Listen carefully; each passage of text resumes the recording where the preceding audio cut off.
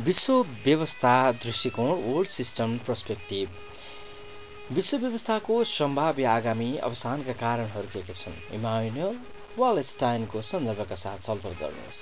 What are the reasons for the possible future demise of the old system discuss the reference of Immanuel Wallerstein विश्व व्यवस्था सिद्धान्त एउटा वृहत समाजशास्त्रीय दृष्टिकोण हो जसले एउटा समग्र सामाजिक व्यवस्थाका रूपमा विश्व पुँजीवादी अर्थतन्त्रका गतिशीलता वर्णन गर्नेतर्फ हेर्दछ। यो एउटा राजनैतिक र बौद्धिक प्रयत्नमा आधारित समाजशास्त्रीय दृष्टिकोण हो। विश्व व्यवस्था सिद्धान्त ऐतिहासिक समाजशास्त्र र आर्थिक इतिहासको क्षेत्रमा पर्दछ। यसका अतिरिक्त विश्व व्यवस्था सिद्धान्तले विश्वका देशमा कायम रहेका विकासका अवस्था र अस मान अवसरमा जोड दिने भएकोले यसलाई विकास सिद्धान्तकार र विकासका अभ्यासकर्ताले विशेष महत्त्व दिन्छन्। विश्व व्यवस्था सिद्धान्तसँग अमेरिकी समाजशास्त्री इमानुएल वालस्टाइनको नाम समेत जोडिएको छ।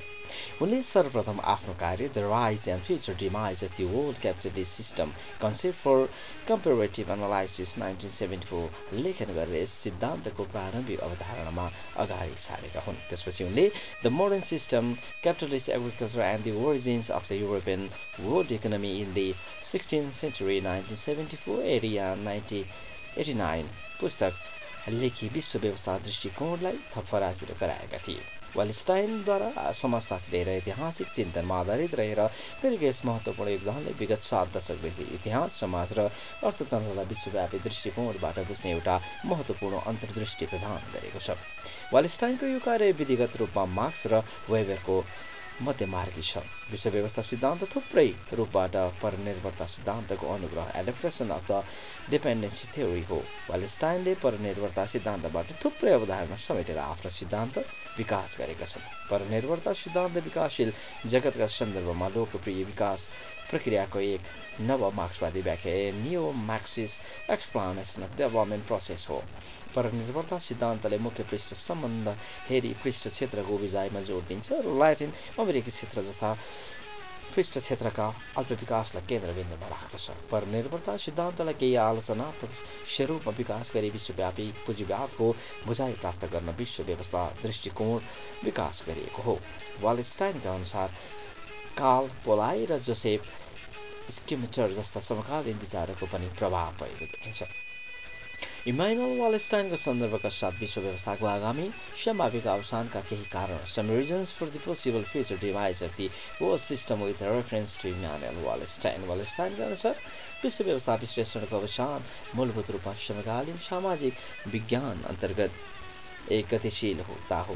जुन विश्व व्यवस्था विश्लेषणमा भएका अन्तर्विरोध र त्यसको उपयोगिताको घटनाबद्ध पलायनद्वारा चलायमान भएको छ।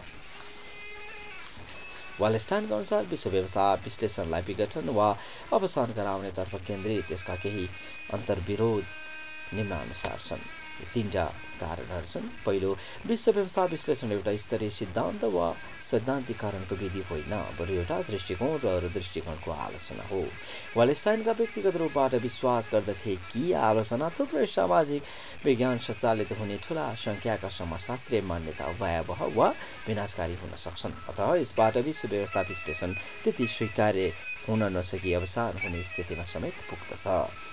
दोस्रोमा वालेस्टाइनका अनुसार विश्व व्यवस्था विश्लेषणको वा आलोचनासँग जोडिएको दोस्रो समस्या पनि छ जुन यसको अवसानको कारक बन्न सक्दछ। आलोचना प्रारम्भिक चिन्ता वा प्रबलताका विगत घटना हुन् यिनले दोहोरो हस्तक्षेप एउटा कन्सेप्ट उत्पन्न गराउँदछन्। तेस्रोमा वालेस्टाइन तर्क गर्छन् कि हामी विश्व अर्थतन्त्रका पृष्ठ क्षेत्रको समकालीन परिस्थिति विश्लेषण गर्न आलोचनाका तौर तरिकामा विगत धेरै लामो समयदेखि परिवर्तन हुँदै आएका छौँ।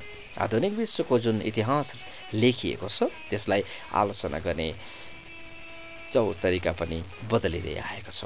यसका अतिरिक्त आधुनिक विश्व व्यवस्थालाई व्याख्या गर्ने सिद्धान्त र ऐतिहासिक सामाजिक विज्ञानमा प्रयुक्त गरिएका पद्धतिको आलोचना गर्ने शैली पनि परिवर्तित हुन पुगेका छन्। यी सम्पूर्ण परिवर्तनका कारण विश्व व्यवस्था विश्लेषण अवसान हुने अवस्थामा समेत पुग्दछ।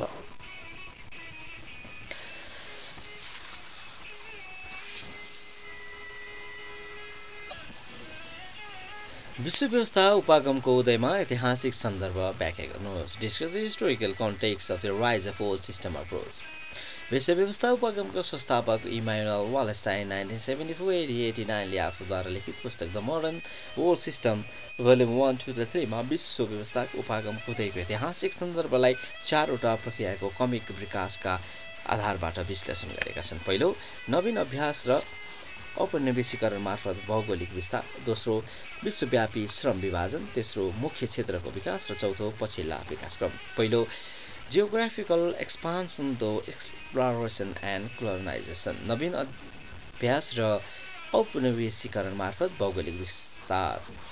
वालेस्टाइनका अनुसार भौगोलिक विस्तार विश्व व्यवस्था उपागम हुँदैको पहिलो र महत्त्वपूर्ण ऐतिहासिक सन्दर्भ हो। सन् फोर्टिन हन्ड्रेडको मध्यतिर युरोपियन देश पोर्चुगल समुद्र पारका त्यसलाई अधीनस्थ राख्ने र अन्य युरोपियन राष्ट्रले पोर्चुगलको जस्तो अभ्यासलाई अवलम्बन गर्ने प्रवृत्ति बढ्दै गयो पछि अभ्यास राजनीतिक र सैन्य प्रवृत्तिको रूपमा विस्तारित हुँदै गयो। युरोपियन राष्ट्रले आफ्ना तत्कालीन हितलाई ध्यानमा राखी अल्प विकसित र विशेष गरी समुद्र पारका देश उप अधीनस्थता र आर्थिक प्रभुत्वता कायम राख्दथे। दास प्रथामा आधारित श्रमिक व्यवस्थाले पुँजीवादी अर्थतन्त्रको आधारशिला तयार गर्न मद्दत गर्यो। यसबाट विश्व व्यवस्था उदय हुन मार्ग समेत मिल्यो।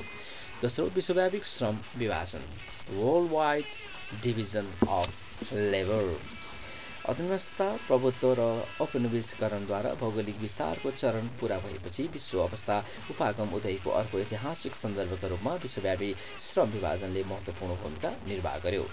सिक्सटिन शताब्दीको समयमा विश्वलाई प्रभुत्वमा राख्ने एउटा व्यवस्थाका रूपमा पुँजीवाद राष्ट्रहरूलाई विस्थापित गरेको थियो। यद्यपि संसारभर पुँजीवाद एक समान ढङ्गबाट विकास भएको थिएन वलेस्टाइनको अनुसार यस समयमा पुँजीवादी व्यवस्थाको सुदृढताले असमानता आधारित विकासलाई प्रोत्साहित गर्यो अब पुँजीवादी विश्व व्यवस्थाका विभिन्न भाग विशिष्ट कार्य जस्तै श्रमशक्ति आपूर्ति श्रमशक्तिको प्रयोग कृषि उत्पादन कच्चा पदार्थ उत्पादन र आपूर्ति र औद्योगिक सङ्गठन संस्थाहरू व्यवस्थापनमा आधारित विशिष्टीकृत हुँदै गए। यसका अतिरिक्त विश्वका विभिन्न क्षेत्र खास प्रकारका कामदार उत्पादन गर्ने सन्दर्भमा पनि विशिष्टीकृत हुन पुगे जस्तै अफ्रिकी क्षेत्रमा दासको रूपमा कामदार रहँदै भने पश्चिमी र दक्षिणी युरोपतिर किसान एवं साना कृषकहरूको रूपमा श्रमिक उत्पादन एवं आपूर्ति गरिन्थ्यो। विशेष गरी श्रमको अन्तर्राष्ट्रिय विभाजनका तिनवटा खण्ड श्रम नियन्त्रणको तरिका मोड अफ लेबर कन्ट्रोलका आधारबाट पनि भिन्न हुन पुगे। मुख्य क्षेत्र स्वतन्त्र श्रम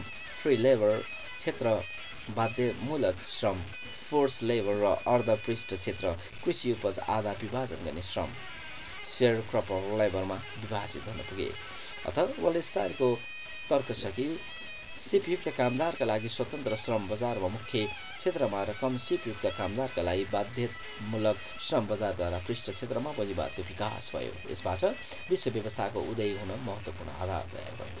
त्यसै गरी तेस्रो नम्बरमा छ मुख्य क्षेत्रको विकास डेभलपमेन्ट अफ कोर स्टेज विश्व व्यवस्था उपक्रम उदयको ऐतिहासिक सन्दर्भ अन्तर्गत तेस्रो अवस्थामा राजनैतिक क्षेत्र र मुख्य क्षेत्रको विकास हुने प्रक्रिया समावेश हुन्छ। यस अवस्थामा विभिन्न आर्थिक समूहले आफ्ना हितको संरक्षण र सम्वर्धन गर्न कसरी राज्य संरचनाको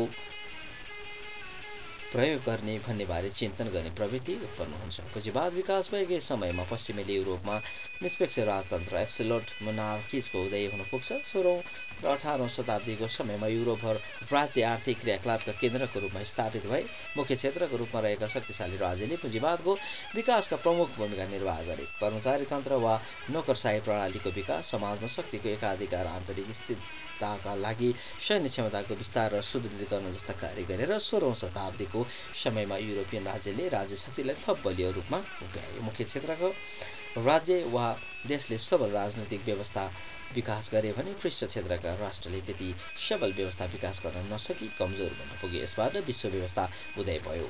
र चौथो नम्बरमा पछिल्ला विकासक्रम लाइटर डेभलपमेन्ट्स वालेसाइनको आफूद्वारा लिखित पुस्तक the modern world system volume two nineteen eighty र सन् सिक्सटिन हन्ड्रेडदेखि सेभेन्टिन फिफ्टीसम्मको समय विश्व अर्थतन्त्रको सुदृढीकरणका बारेमा सविस्तारित विश्लेषण समेटेका छन्। उनका अनुसार सन् सिक्सटिन हन्ड्रेडदेखि सेभेन्टिन फिफ्टीको समयदेखि युरोपियन विश्व अर्थतन्त्रको महत्त्वपूर्ण विस्तार र त्यहाँको अर्थव्यवस्थामा व्यापक परिवर्तन भएको अवधि हो यस समयमा नेदरल्यान्ड एउटा मुख्य क्षेत्रको रूपमा स्थापित भए तुरन्तै अवसान भयो। इङ्ल्यान्ड र फ्रान्स जस्ता शक्तिशाली राष्ट्रबीच द्वन्द्वको सुरुवात भयो। अर्थ अर्धपृष्ठ क्षेत्रको रूपमा स्पेन र स्विडेनको उदय भयो।